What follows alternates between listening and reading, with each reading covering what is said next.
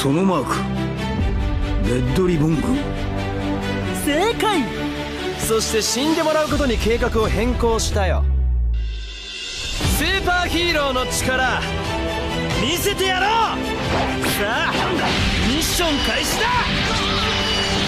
正義は悪に負けないのだ。僕に勝てると思うなよ。当然さ。なんたってヘド博士の傑作だからね。ちょっとがっかりだなもっとすごいって思ってたのに。あとは私が片付けよう。ち増援か。スーパーヒーローの出番だな